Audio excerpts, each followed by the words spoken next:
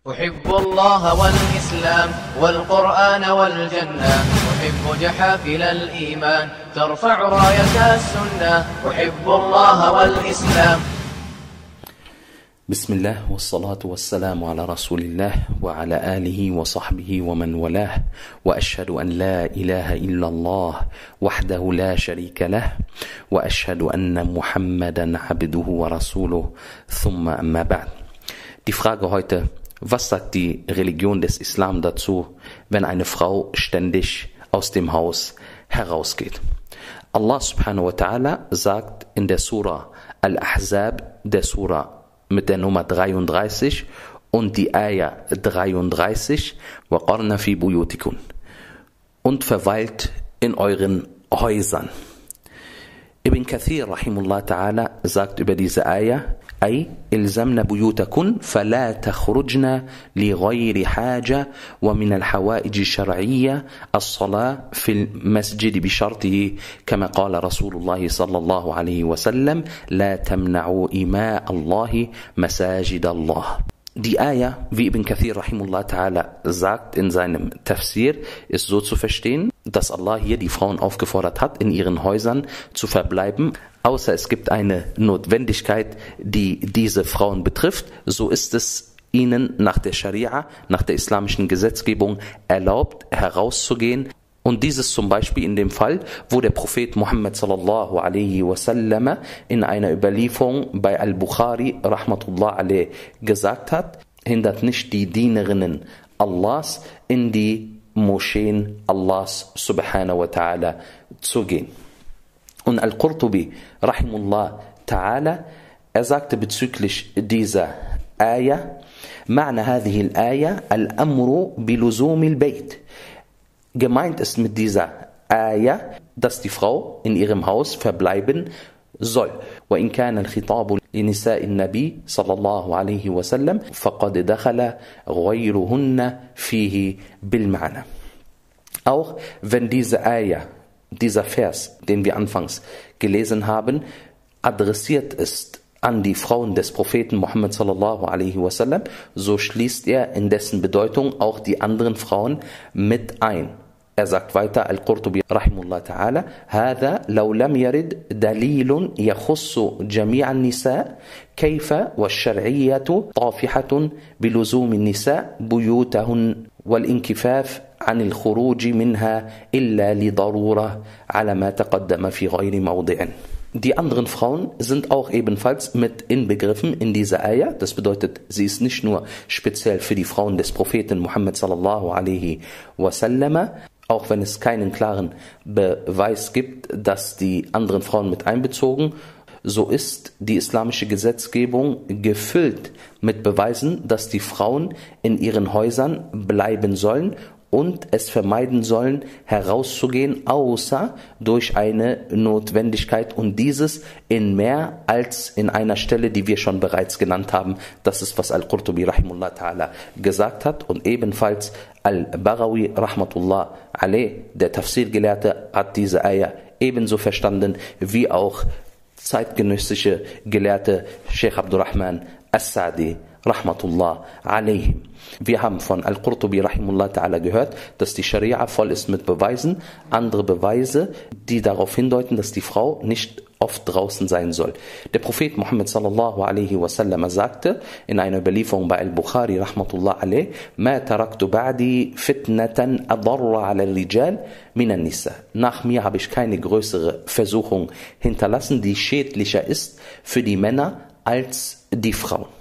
Als die Frauen. Und es heißt in einer Überlieferung von Abdullah ibn Umar radiallahu an und sie ist verzeichnet bei Ibn Hibban und Ibn Khuzayma und Sheikh al-Albani rahimullah ta'ala hat sie als sahih, als authentisch klassifiziert in As-Silsila As-Sahiha.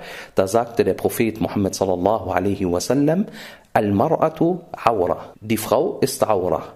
وإنها إذا خرجت استشرفها الشيطان und wenn sie herausgeht, dann hat der Shaitan, der Satan, die größte Hoffnung darauf, dass er sie in die Irre führen kann. وَإِنَّهَا لَا تَكُونُ إِلَى وَجْهِ اللَّهِ أَقْرَبْ مِنْهَا فِي قَعْرِ بَيْتِهَا Es gibt keinen Platz, an den sie sich Allah subhanahu wa ta'ala mehr nährt als in ihrem Haus, sprich, dass sie das macht, was Allah subhanahu wa ta'ala zufriedenstellt.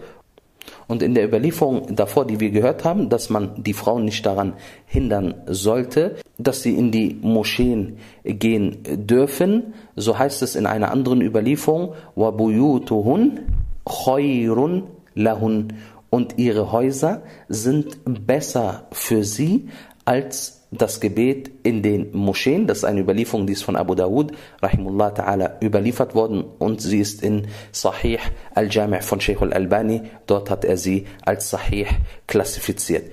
Das bedeutet, selbst wenn man den Frauen nicht verbieten darf, dass sie in die Häuser Allahs gehen, sprich natürlich, wo sie auch etwas Gutes für ihr Jenseits machen, dass sie Koran dort lernen, dass sie Unterrichte hören, dass sie ihren Iman stärken, und das Gebet verrichten, so ist es besser, dass die Frau zu Hause ihr Gebet macht, denn dieses ist, was der Prophet Muhammad sallallahu alaihi wasallam den Frauen empfohlen hat, dass sie zu Hause ihre Gebete machen sollen. Das ist besser für sie, auch in der Zeit des Propheten Muhammad sallallahu alaihi wasallam gab es Frauen, die dem Propheten Muhammad sallam gesagt haben, dass sie es lieben, mit dem Propheten Muhammad sallam zu beten und dennoch hat er ihnen gesagt, dass ihre Häuser besser sind für sie als die Masajid. Und der Prophet Muhammad sallam hat natürlich verstanden, dass die Frauen auch gerne in die Moscheen kommen, gerade deswegen auch als der Prophet Muhammad sallam noch gelebt hat. Daher,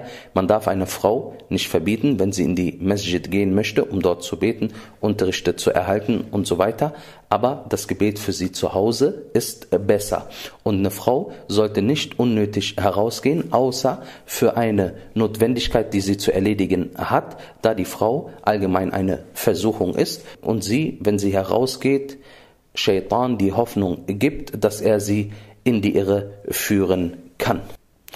Und es wird überliefert von Imam Ali ibn Talib radiallahu anhu wa arda und diese Überlieferung ist bei Imam Ahmed und Al-Allama Ahmed Shakir hat sie als Sahih gezeichnet, dass Imam Ali radiallahu anhu sagte, ألا تستحيون أو تغارون فإنه بلغني أن نساءكم يخرجن في الأسواق يزاحمن العلوج Schämt ihr euch nicht und seid ihr nicht eifersüchtig? Und diese Rede betraf die Männer in der Zeit von Ali ibn Abi Talib radiallahu anhu arda.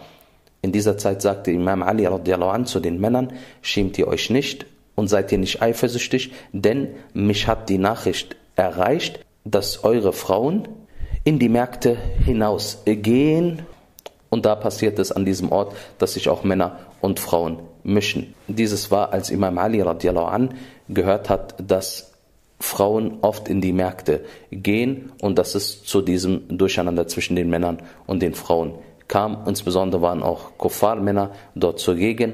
Daher sollte die Frau nicht oft herausgehen, wenn sie eine Notwendigkeit hat.